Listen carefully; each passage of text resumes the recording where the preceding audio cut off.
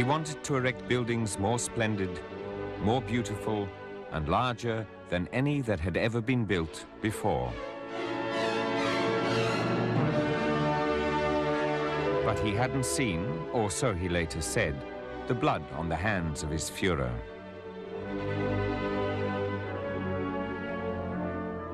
He wanted to produce weapons that were more powerful, more deadly, and more numerous than in any other war before.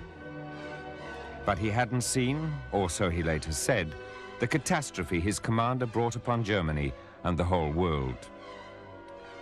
He did it all for Adolf Hitler, who, so he later said, had but one friend, him, Albert Speer.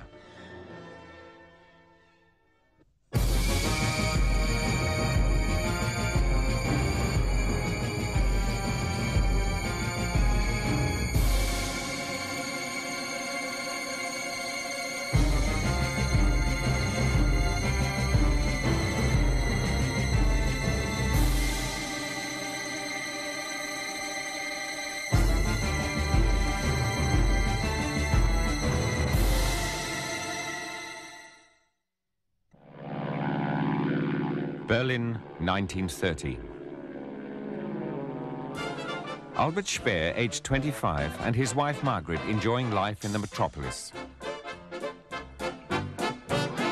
They were happy to have escaped the provincialism of their hometown of Mannheim.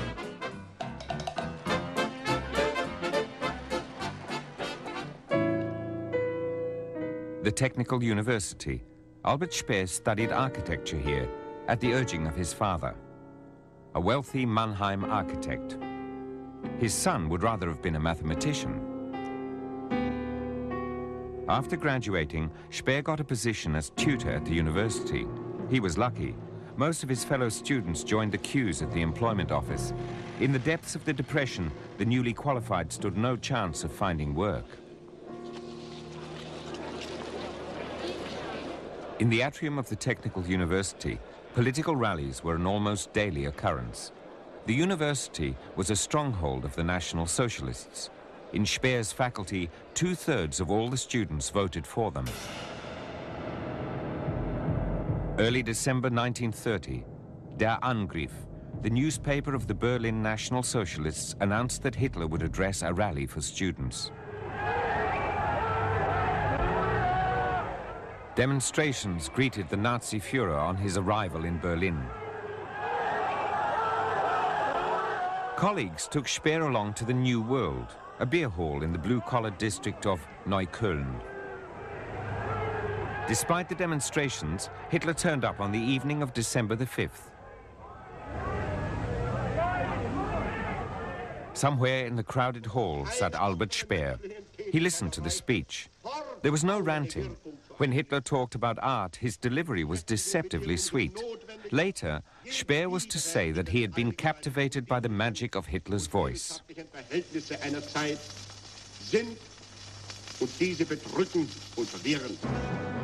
Speer was excited.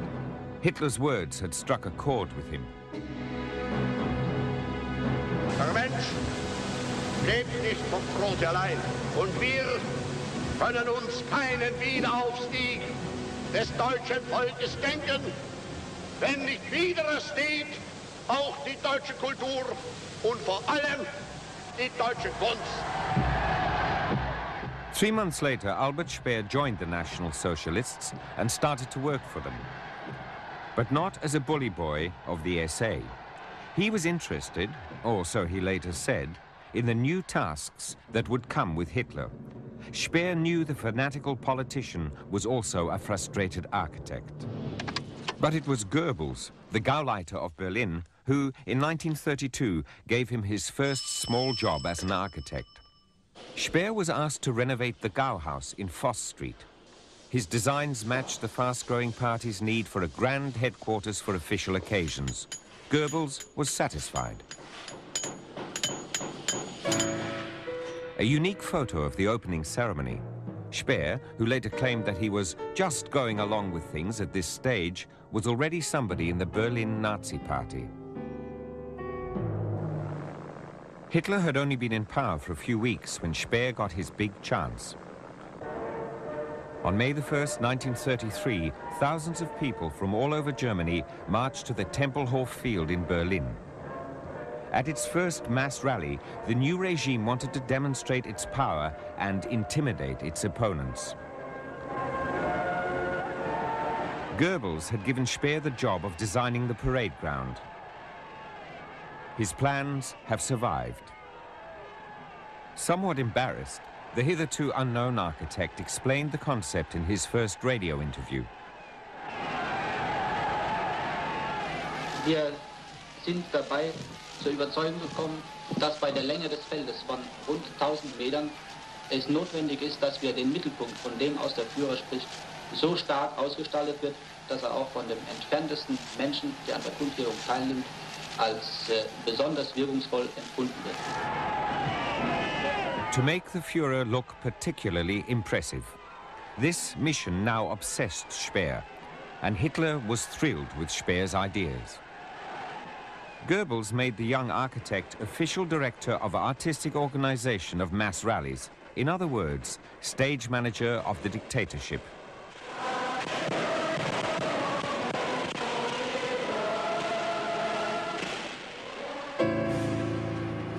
building itself, however, was the domain of Professor Paul Ludwig Troost, Hitler's architect. Hitler admired Troost, but Troost regarded Hitler as a mere pupil. The Fuhrer, however, wanted to be an architect himself. In the 20s, Hitler had sketched the monumental buildings of his future Reich. They were then castles in the air, but now he had a chance to turn them into reality.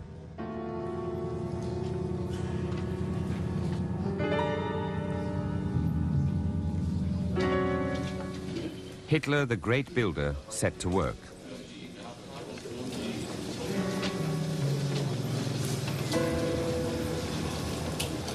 He needed a talented young architect, someone he could shape to his own goals, someone like Speer.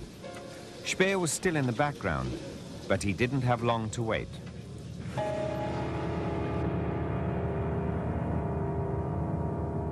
In January 1934, Troost died. Speer, who had not yet designed a single building, became the first architect of the Führer. A phenomenal rise to power. A few days before the party rally in 1936, Hitler inspecting the site. Hitler was reportedly overwhelmed when his architect demonstrated the effects of his new stage.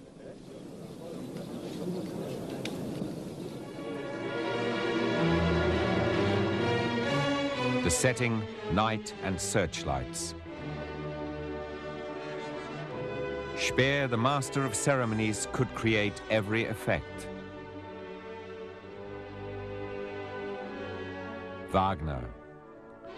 The overture to Rienzi, Hitler's favorite opera. The high point was the Cathedral of Light.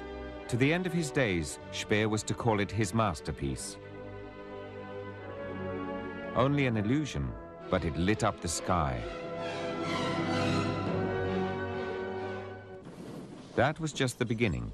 Speer's greatest project in Nuremberg was the National Stadium. It was designed to hold 400,000 spectators and be home to the Olympic Games. In future, they would always take place in Germany, or so Hitler said on the building site. Only the shell of the Congress Hall was finished before the beginning of the war. It was the only one of the Nuremberg buildings that Speer did not design himself, though he supervised its construction. It was built exclusively for Hitler's annual speech to the 50,000 delegates at the party rally. When the roof went on, the great builder declared, Gott, die Dichter und Sänger heute vielleicht Kämpfer sein lässt, Man hat aber den Kämpfern jedenfalls die Baumeister gegeben, die dafür sorgen werden, dass der Erfolg dieses Kampfes seine unvergängliche Erhärtung findet in den Dokumenten einer einmaligen großen Kunst. Deshalb sollen diese Bauwerke nicht gedacht sein für das Jahr 1940, auch nicht für das Jahr 2000, sondern sie sollen hineinragen gleich den Domen unter der Vergangenheit in die Jahrtausende der Zukunft. Speer instituted a special construction process for the Nuremberg buildings, the law of ruins. The buildings were designed to look grand, even in a state of decay, like a temple of antiquity.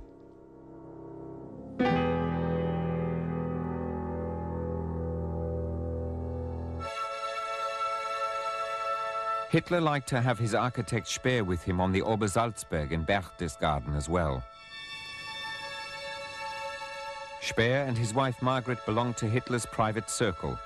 They were regular visitors to the Berghof. Speer built himself a studio on the Obersalzberg. It was here that Hitler told him about the greatest commission of all time, comparable, he said, only with the building of Babylon and ancient Egypt.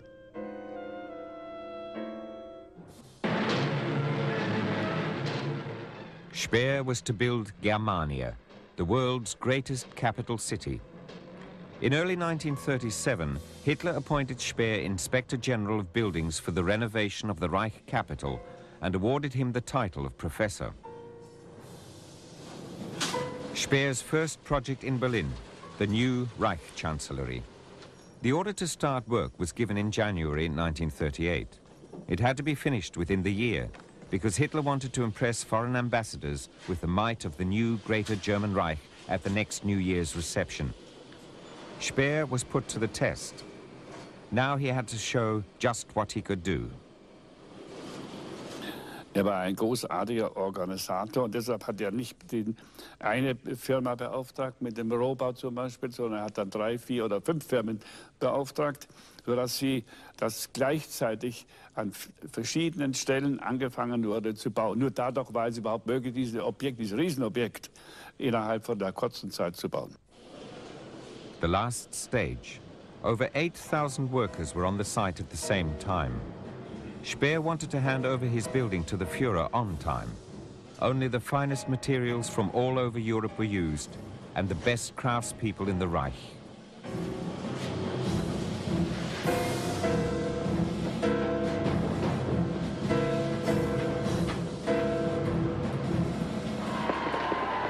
Two days before the completion date, a tour of the rooms. Everything was ready, Hitler publicly called his architect a genius for the first time.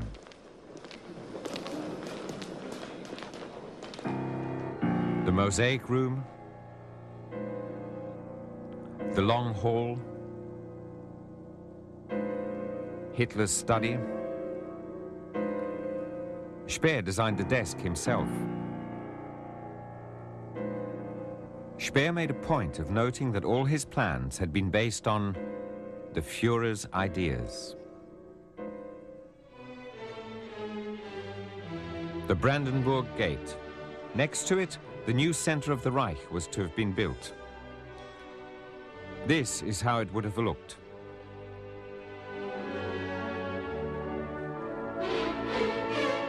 The Great Square, dominated by the Great Hall where 150,000 people could meet, the largest building in the world. Tiny, by comparison, the old Reichstag. The High Command of the Wehrmacht.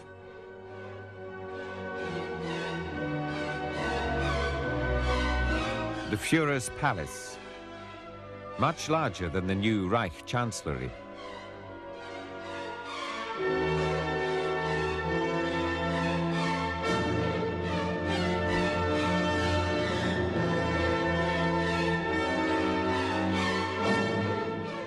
Hitler wanted delegations from subjugated peoples to come once a year to see and marvel. The lunacy of Germania was to be ready by 1950. The beginning was ordinary enough. In June 1938, the master of Germania displayed himself in his favorite pose as the great builder. Des Fremdenverkehrs in Berlin und befehle damit zugleich Beginn der Arbeit des Umbaus von Groß-Berlin. First, the Inspector General had to make space for the Fuhrer's buildings. 52,000 flats needed to be demolished. To the people who lost their dwellings, Speer could offer a replacement.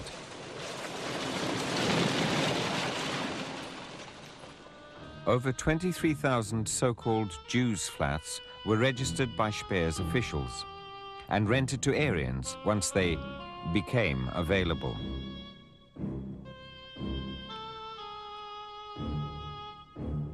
Speer, who later claimed he knew nothing of this, threatened the landlords. It is a punishable offence to let a Jew's flat without my permission. Even from the Obersalzberg, Speer sent messages inquiring about progress with the eviction of Jewish tenants from a thousand apartments.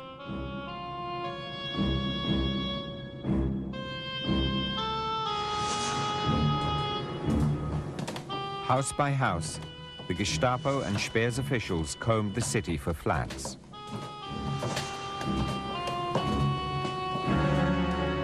With German thoroughness, they drew up eviction lists and recorded the names and addresses of all Jewish tenants and the Aryans who were to take their place. The night before Hitler's 50th birthday in 1939, another show staged by Albert Speer. Am Vorabend des Geburtstages übergibt der Generalbauinspektor für die Reichshauptstadt, Professor Speer, dem Führer die fertiggestellte Ost-West-Achse.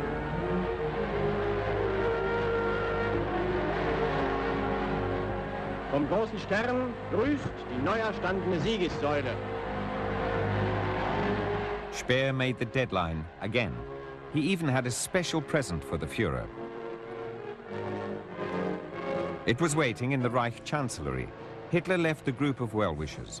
He was deeply moved. Here it was, a four-meter-high model of his Arch of Triumph. He'd sketched it 15 years earlier, and now Speer wanted to build it for him.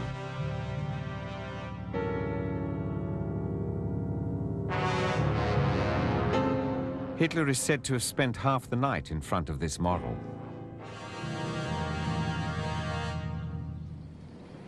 Indeed, there seemed to be no end to his triumphs. The 28th of June 1940, Hitler the victor in Paris.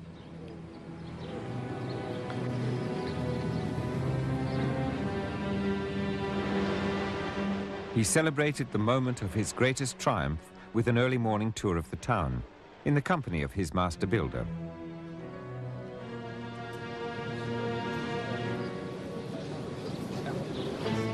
Hitler had thought of destroying Paris. Now, he wanted to leave the vanquished city as it was, so it would look small and pitiful next to Speer's New Berlin. While he was in Paris, Hitler gave the order Berlin must soon be a monument to our victory. I see that as my most important contribution to the final establishment of our victory. But the war went on, on more and more fronts.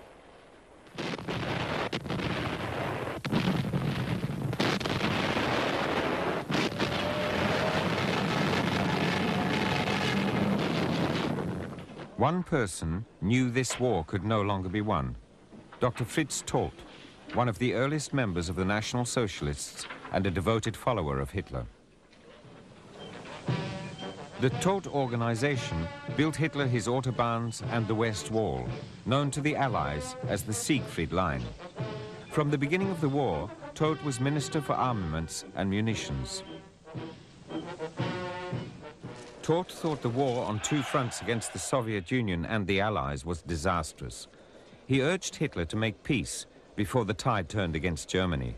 The Supreme Commander wouldn't hear of it.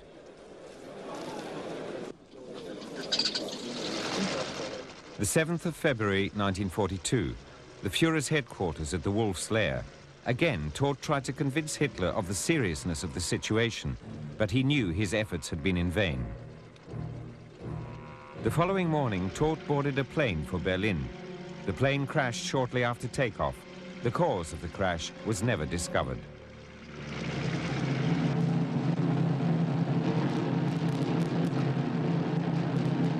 Speer's time had come again.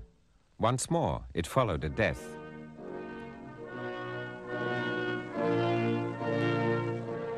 the new armaments minister marched at the head of the funeral cortege.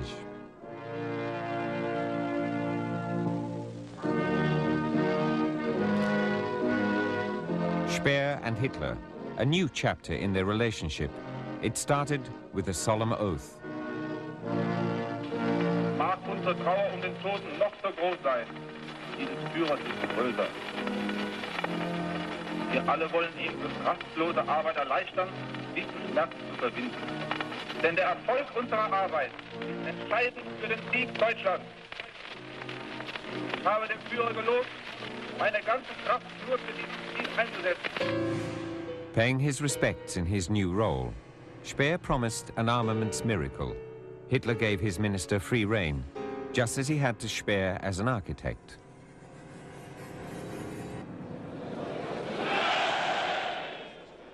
Meeting of the German armaments industry with the head of the Wehrmacht. Speer's first appearance as minister. His goal, to reorganize armaments production. The program he introduced was based on the self-responsibility of industry. He had no time for bureaucracy. Speer's new weapons were to be sent straight to the front. The minister requested and supported open discussion. Many of his colleagues were not even party members. He made just one demand, the immediate increase of armaments production. Speer's demand was met. After just six months in office, Hitler's dynamic new minister reviewed the figures before representatives of German industry. Sie können sich denken, dass die Ansprüche des Führers an die Rüstungswirtschaft hoch und die von ihm verlangten Lieferungen daher nur äußerst schwer zu erreichen sind. Es hat sich von Monat zu Monat steigend das unerwartete Bild ergeben, dass diese vom Führer verlangten Zahlen nicht nur erreicht, sondern immer mehr übertroffen wurden. Die letzte Meldung ergab nirgendwo einen Minderausstoß, fast überall eine Mehrlieferung von einem Drittel bis zur Hälfte und auf einigen wichtigsten Gebieten sogar eine Verdopplung der vom Führer ursprünglich verlangten und erwarteten Leistungen. Speer had shown what he could do. As a student, he had shown his father. Now, as a minister, he was showing the Führer. Speer enjoyed the power his association with Hitler brought him. He was intoxicated by power, as he later put it. Hitler promised him that once they'd won the war, they would just build. It was as an architect that Speer wanted to go down in history.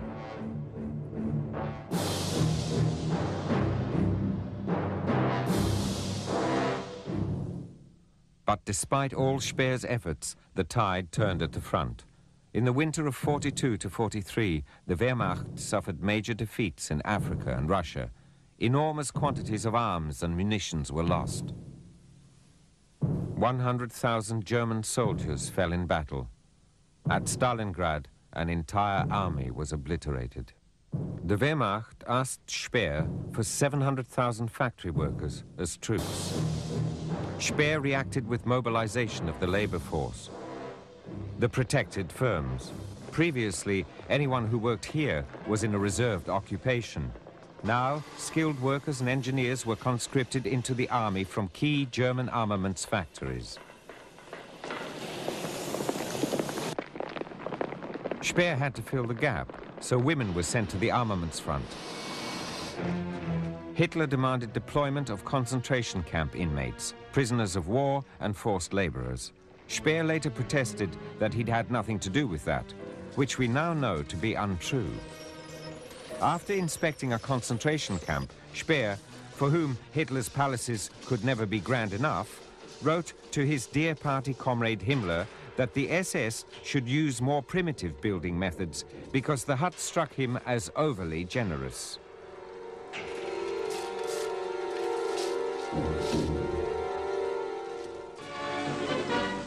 Back home, Speer drummed up support with his national comrades for the total war industry. His most important ally, propaganda minister Goebbels. The two of them began to appear together more and more. Der Führer erwartet, dass der Heimat kein Opfer zu groß ist, wenn es gilt, dem Frontsoldaten neue Waffen zu schmieden. Wir geloben unseren Soldaten an der Front, auch weiter nicht nur unsere Pflicht zu tun, sondern das Äußerste an Arbeitsleistung zu vollbringen und von Monat zu Monat unsere Produktion stetig zu steigern. Hitler pinned all his hopes on Speer. In return, Speer got what he wanted most, the Führer's gratitude. Hitler now ended conversations with his armaments minister Heil Speer, a likely successor. Speer was now an architect of armaments. The men pored over plans and construction models. It looked just like the old days. But there was one difference this time. Hitler had fought in the First World War. Speer hadn't. Hitler was giving all the orders now.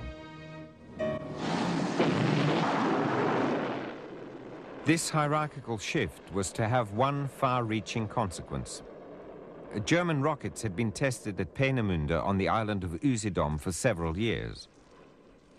Speer favored anti-aircraft rockets, they were small, cheap, and were urgently needed to counter the Allied bombers, which were flying ever higher and ever faster. Hitler preferred the V-2 assault rocket, which was big and expensive. Speer was won over to Hitler's position. The psychological effect of the V-2 fascinated the two comrades in art.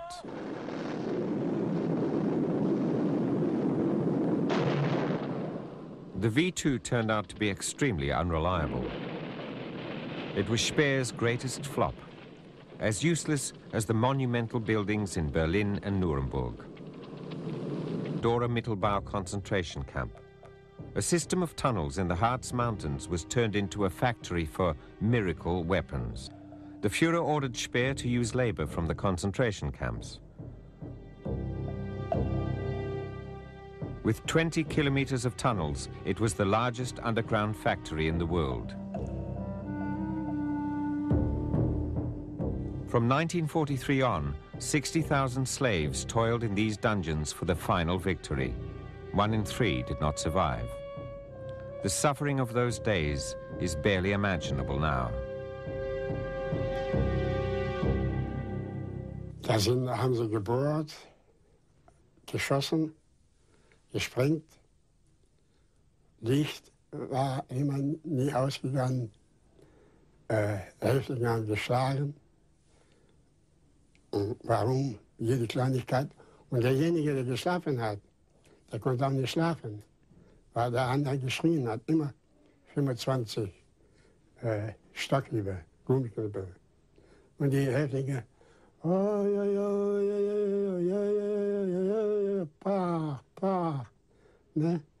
Und ich habe zum Glück nur sieben Stück gekriegt, die ganzen. Aber viele haben gekriegt 25 oder haben sie auch gehen. At the end of 1943, Speer came for an inspection. Barbaric, he said. Inhuman conditions, he said. Later. Zwölf Stunden im Stollen und nur arbeiten. Mitunter nachts auch gearbeitet. Also Schichten mussten dann gemacht werden. Äh, die Nazis wollten ja den Krieg noch gewinnen mit dieser Waffe. Dann hat man an Häftlingen alles reingeschoben, was nur ging. Wer nicht konnte, der wurde erschossen oder die Transporte gingen wieder ab, zurück nach den anderen Lager. Dort sind sie dann äh, umgekommen und hat wieder neue Häftlinge angefordert. Es kann ein Außenstehender sich gar nicht vorstellen, was hier geschehen ist. Darum sage ich, und es ist auch so gewesen, für mich war das das schlimmste Lager. Durch Arbeit wurden die Häftlinge, die Menschen kaputt gemacht. While the first prisoners were being transported to Dora, the Reich leaders and Gauleiters of the Nazi Party gathered here in Posen Castle on October the 6th, 1943, a crisis meeting. Speer wanted to stop all civilian production at once, but the Gauleiters were afraid of a change of mood in Germany.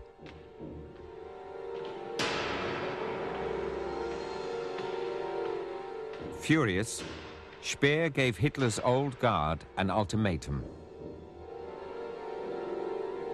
Ich bitte Sie nur eins zur Kenntnis zu nehmen. Die bisherige Art, nach der einzelne Gaue sich von Stilllegungen ausgenommen haben, kann und wird nicht mehr am Platze sein. Ich werde daher die Stilllegungen, soweit nicht die Gaue innerhalb von 14 Tagen meiner Aufforderung zur Stilllegung nachkommen, selbst aussprechen. Und ich kann Ihnen versichern, dass ich hier gewillt bin, die Autorität des Reiches durchzusetzen, koste es, was es kostet. Ich habe mit Reichsführer Himmler gesprochen und ich werde diejenigen Gaue, die hier nun diese Maßnahmen nicht durchführen, entsprechend behandeln. After Speer, it was Himmler's turn. His topic, the final solution of the Jewish question.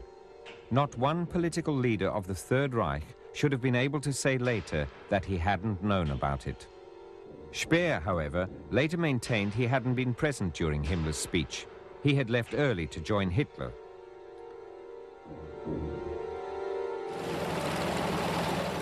As if to flee from the awful truth about Hitler's regime and the nation's impending defeat, Speer threw himself into frantic traveling. The Junkers 52 became his second home.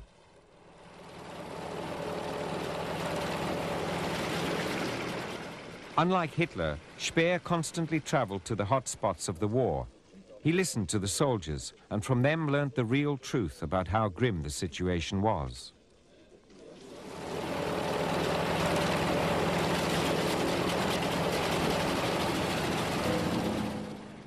Speer was fascinated by his toys, new weapons. All his energy went into their development. His six children practically never saw their father. They later said they'd grown up without a father.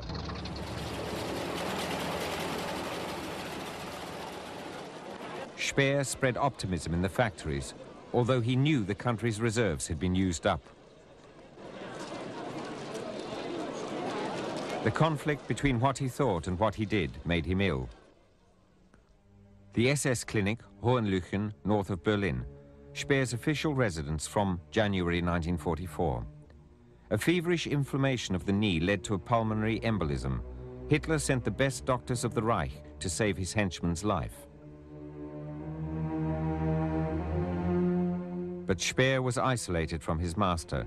His opponents spread rumors that Hitler blamed Speer for the reversals at the front and was even considering replacing him.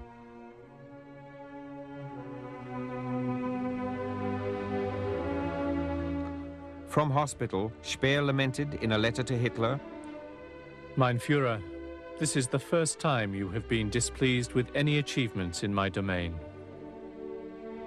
Speer felt rejected and offered to resign.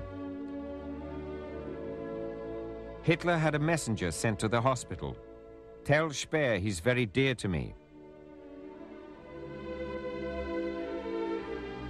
In May 1944, Speer returned to office fully recovered. But his armaments empire was under dire threat. The Allies ruled the airspace over Germany. Almost unopposed, thousands of flying fortresses took off daily for Germany. The American 8th Air Force concentrated on destroying the German armaments industry. In May 44, they were given a mission which had a decisive impact on the course of the war. Their target? The Leuna Works in Merseburg. Here, synthetic petrol was made from coal. After the loss of the oil fields in Romania, Leuna was the Wehrmacht's last major source of energy. The next day, 145 tons are released on synthetic oil plants and the famous Leuna ammonia and nitrogen. The bombers of the American 8th Air Force attacked the German fuel plants almost continually. Finally, 90% of German aircraft fuel production was destroyed. Speer sent a memorandum to Hitler with an urgent plea for protection and rebuilding of the fuel plants. A shortage of aircraft fuel loomed, with disastrous consequences for the Wehrmacht. But Hitler only wanted to hear good news. The Reich Minister for Armaments and Munitions did his best as always and presented his commander with ever larger, ever more powerful weapons.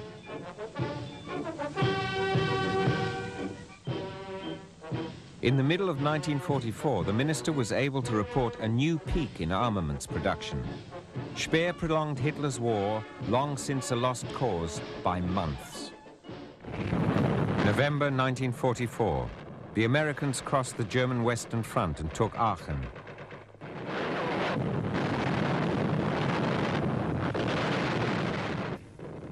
The armaments factories along the Ruhr were now on the front and under threat.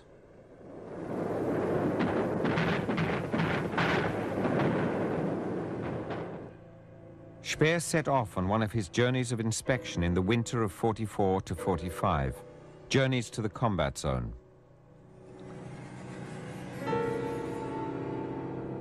Speer realized the war was lost. He started to make plans for the period after Hitler, playing a double game. Speer was not yet 40 and intended to play a part after the war. Not wanting to face the victors empty-handed, he aimed to leave German industry as intact as possible.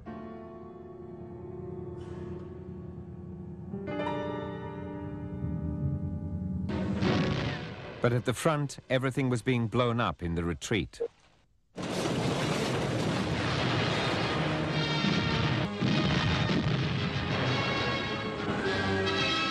Speer urged Hitler not to destroy the factories in the West above all, but just to cripple them temporarily. Das war ja die Kunst von Speer, dass er äh, das äh, überbrückte bei Hitler. Und das ist ja ein Beispiel für das, was ich äh, schon gesagt habe, dass er nicht nachließ, äh, Dinge, die er durchsetzen wollte, nun immer wieder in anderer Form zu unterbreiten. Und dadurch, dass er äh, Hitler sagte, wenn wir das aber zurückerobern, und das war das, was Hitler am liebsten hören wollte, dann müssen wir ja doch den Betrieb wieder in Ordnung bringen können. Und dann lähmen wir ihn doch. Das war, da war er einverstanden. Or he agreed until March the 19th, 1945. In this teletype message, Hitler called for application of the scorched earth principle. All industrial plant that could be of use to the enemy was to be destroyed. Speer's adjutant saw his reaction at close quarters. Er war, er war wütend, echt wütend. Also er war nicht äh, in dem Sinne äh, verzweifelt, dass er aufgab, sondern er war wütend und die Reaktion war, ich muss was dagegen tun. Speer broke off his journey and raced back to Berlin. In his luggage was a handwritten letter to Hitler. Mein Führer, my belief that our fate would change for the better was unshaken until March the 18th. I cannot believe in the success of our just cause if we destroy the foundations of our national existence in these decisive months. I therefore beg you not to carry out this measure which will be so destructive to the people. May God protect Germany. Speer. A refusal to obey orders and an open criticism of Hitler. In those days, many thousands of people were killed for that.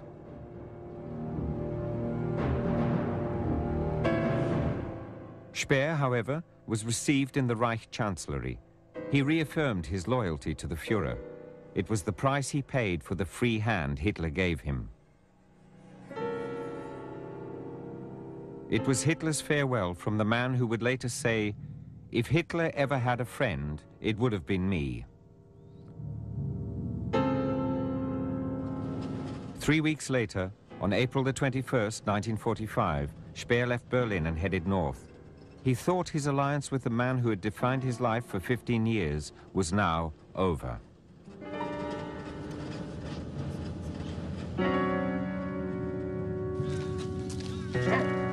In Mecklenburg, Speer wanted to prepare for the new tasks he hoped were in store for him in the period after Hitler.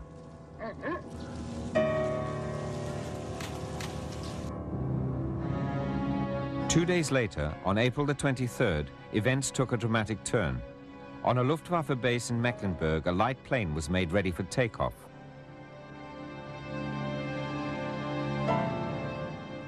The passenger, Albert Speer. The destination of the Fieseler stork, Berlin.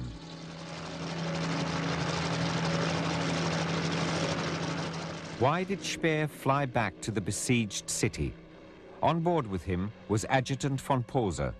He now breaks his silence. Meine Begriffe muss es einen guten Grund geben, aus dem Speer nach Berlin flog.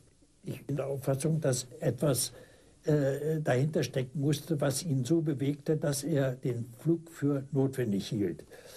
Äh, dafür äh, wäre etwa in Frage gekommen, dass er Sorge hatte, Nachfolger von Hitler zu werden.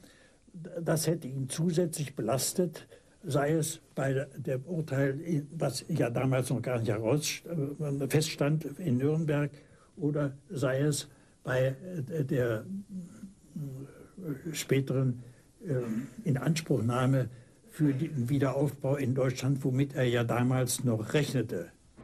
Fear of being made Hitler's successor? Was it that which drove Speer back to the Reich Chancellery, to the place he later called the ruins of my life? To the thunder of artillery fire, he made his way down into the Führer's bunker for the last time. Ich erinnere mich, er ist dann äh, in, ins Arbeitszimmer mit dem Führer und die haben ein langes Gespräch miteinander noch gehabt. Und dann ist aber Speer wieder weg. Und das war das letzte Mal, dass er da war. Was da passiert ist, Hitler hat auch nachher nicht mehr über Speer gesprochen. After taking his leave of Hitler, Speer crept back through the catacombs of Berlin's government district to his aeroplane. His adventure paid off. Hitler left Dönitz, not Speer, the responsibility for the country he had led to ruin. Speer was not mentioned in Hitler's last will and testament. On May the 3rd, the man who believed he had been given a second chance addressed the nation from the Hamburg radio studio. Das deutsche Volk hat in diesem Kriege eine geschlossene Haltung gezeigt, die in einer späteren Zukunft die Bewunderung einer gerechten Geschichte hervorrufen wird. Wir dürfen gerade in diesem Augenblick nicht trauern und Vergangenen nachweinen. Nur durch verbissene Arbeit lässt sich unser Los weitertragen.